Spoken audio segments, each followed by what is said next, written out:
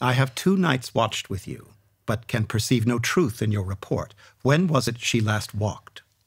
Since His Majesty went into the field, I have seen her rise from her bed, throw her nightgown upon her, unlock her closet, take forth paper, fold it, write upon't, read it, afterwards seal it, and again return to bed, yet all this while in a most fast sleep.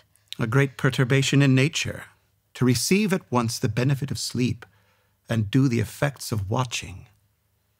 In this slumbery agitation, besides her walking and other actual performances, what at any time have you heard her say?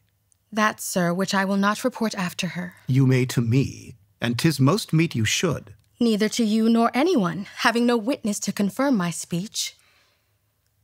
Lo, you, here she comes. This is her very guise, and upon my life fast asleep. Observe her. Stand close. How came she by that light? Why, it stood by her. She has light by her continually, 'tis her command. You see her eyes are open. Aye, but their sense is shut. What is it she does now? Look how she rubs her hands. It is an accustomed action with her to seem thus washing her hands. I have known her continue in this a quarter of an hour.